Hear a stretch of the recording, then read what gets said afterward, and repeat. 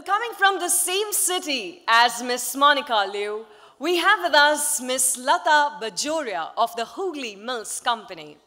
Coming from a conservative Marwadi household, Miss Lata Bajoria had to take over the jute business of her late husband, Arun Bajoria, in the most challenging circumstances you can think of. And in doing so, not only did she discover her true self, but also learned the art of being selfless through her philanthropic venture, Apne Aap.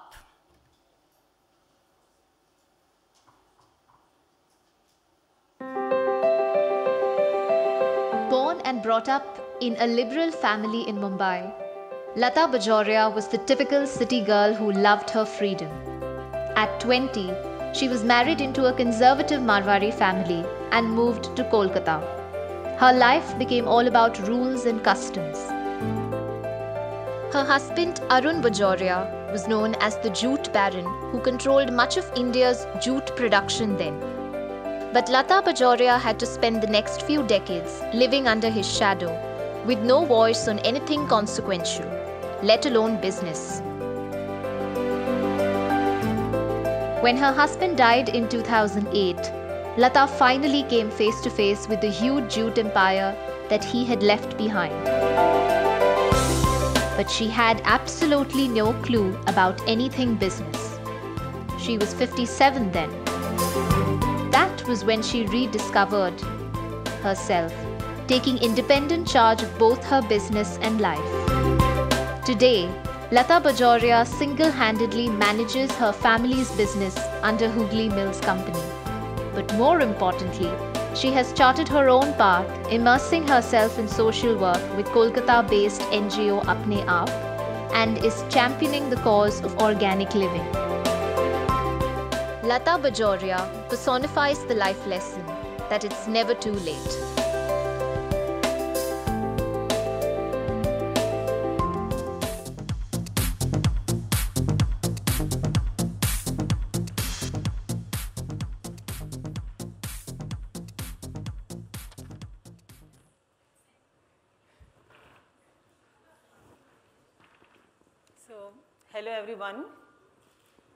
Seen, my name is Lata Bajoria. I am, I was born in Bombay. I'm a Bombay girl. I am studied here.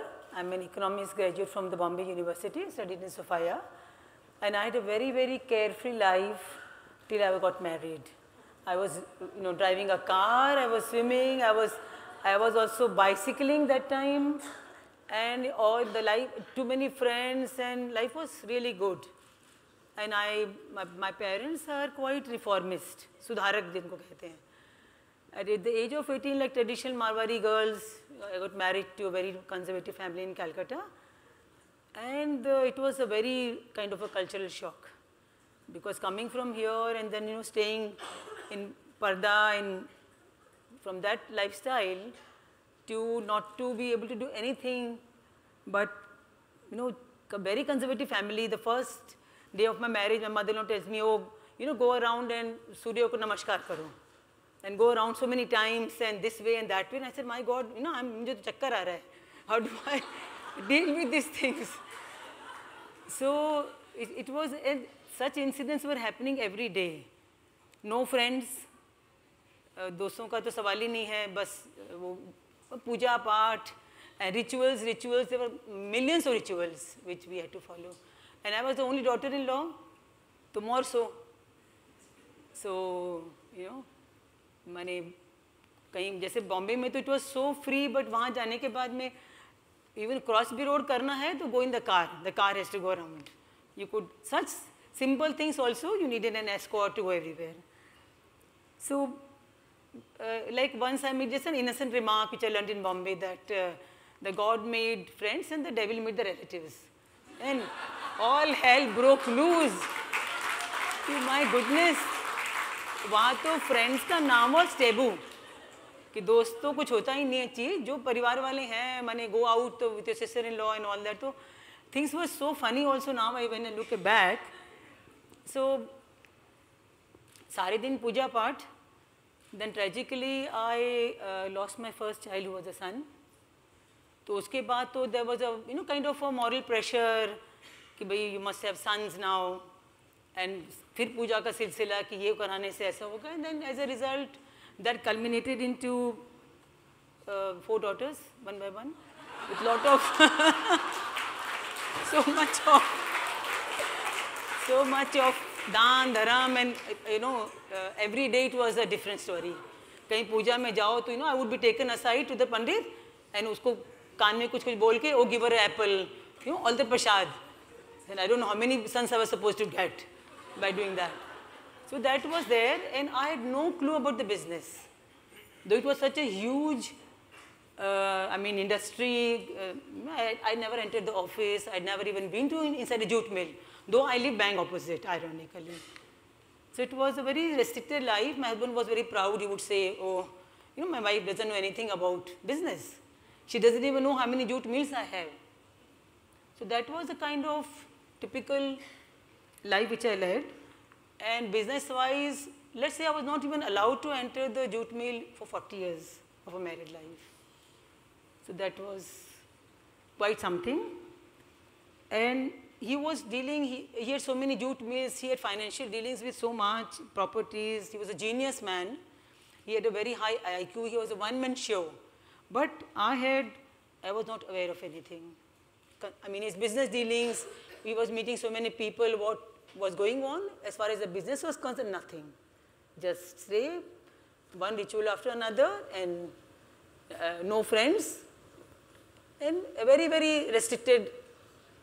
So I, I, I even used to call him that you're a seventh century man, that I'm married to that. But I was only one, at least there was a big house, no financial problems. Well, then my, actually, my story actually started when my husband died. So I was 57 at that time. And ironically, uh, all the sense of emancipation, I took, and there was no time also for me to mourn. Because within three days of uh, him dying, and because there was no male member, so I had to take over. Take over means I had to face all my employees, and I had to face them and tell them that, uh, look, as long as I'm here, you don't have to worry about anything. And I'll take over and I promise not only to them, I promise to myself also that uh, I'm going to give my 100%. Whatever it is, whatever I am. And that is why, where my actual journey started. So at that age, not knowing the, and then, you know, not knowing the word of F in finance. People would say, finance samalo. How do I do it? On what basis do I decide what is to be sold, what is to be looked after, and how do I do I've never even entered the office. So it was, then suddenly I, am thrust upon everything I'm to, I have to look after. So anyway, I started. The first thing I did, I bought a laptop. And I thought that I'm illiterate without my own identity. And also, then my first uh, email ID was Lata Arun Bajoria because I wanted to, you know, be have the name also with me and that is still there. And kept a proper tutor, not ki kisi ne sikha diya because then it, that won't matter. The second thing I started, I started going to the office, I had to.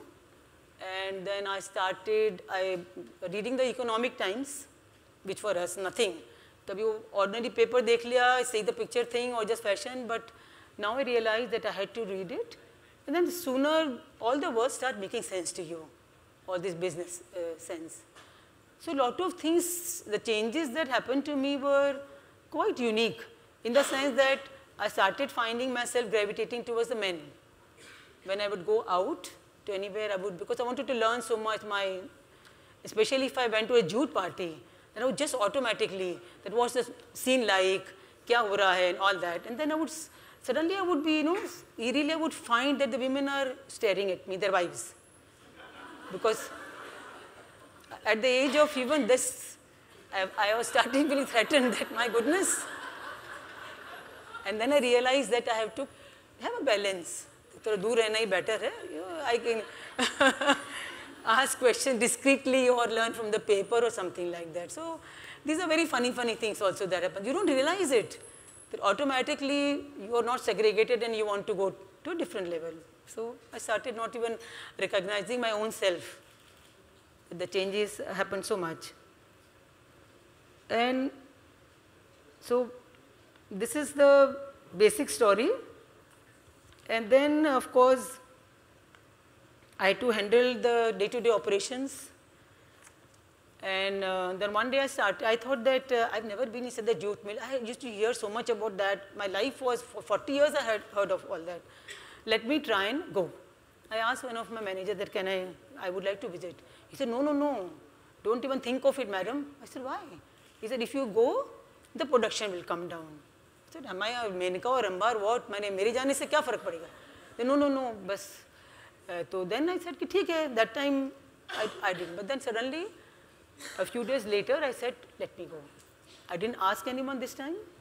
I just went.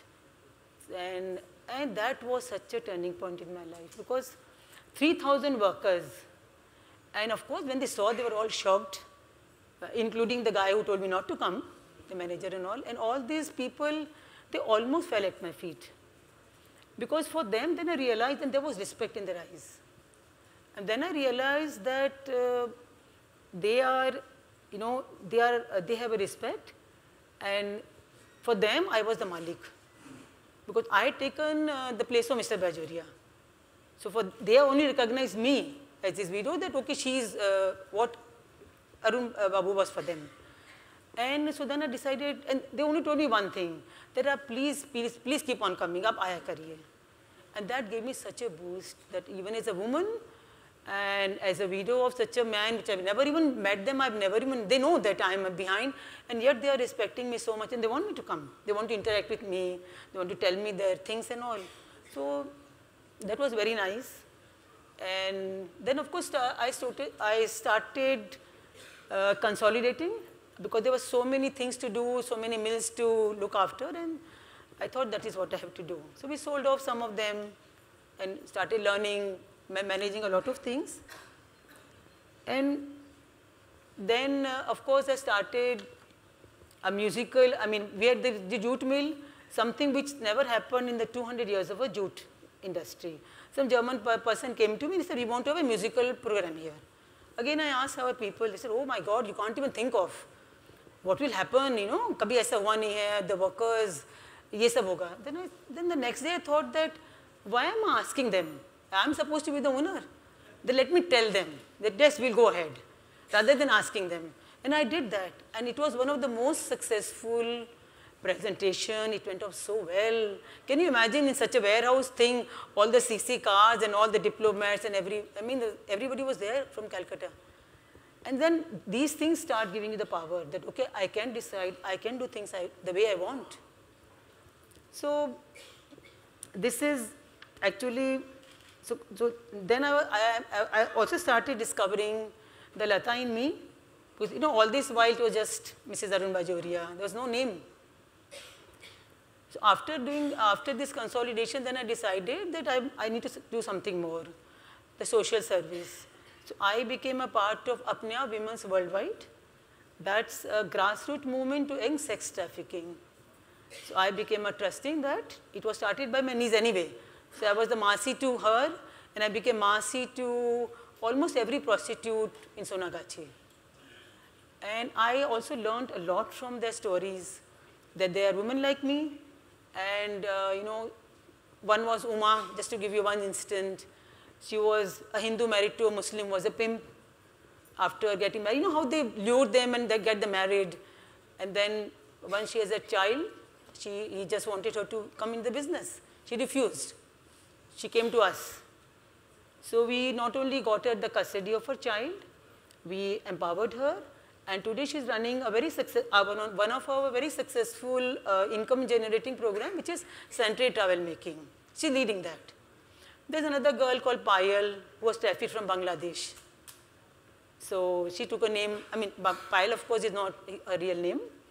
And then she also told me, she actually took me to her working place where she services. There's a part of Sonagachi which is the, I don't know whether, how many of you know, is Asia's largest red light district.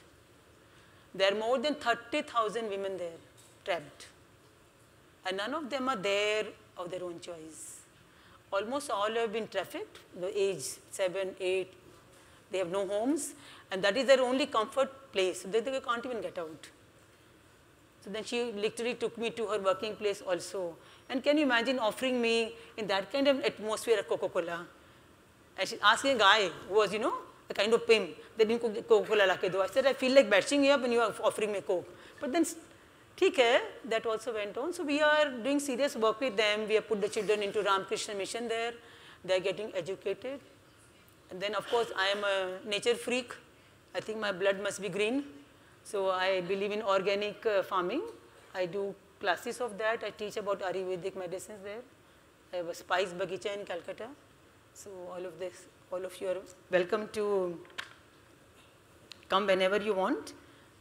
So that's about it. My message would be that, my message would be that uh, I started late and I really had a sense of breaking away my shackles at the age of 57. You know, it was like really, uh, really as if I came out of a cocoon. And then doing so many things, uh, not, not being answerable to anyone. So it was ironical for me. But I would say nobody has to wait till these kind of circumstances. I think people can do it, women can definitely do it uh, even before that. Why should you wait for that long? So one can do so much, so much potential is there. So I wish all of you what I have been through, and of course with four daughters, a total feminist, that you can understand. so that, that's what.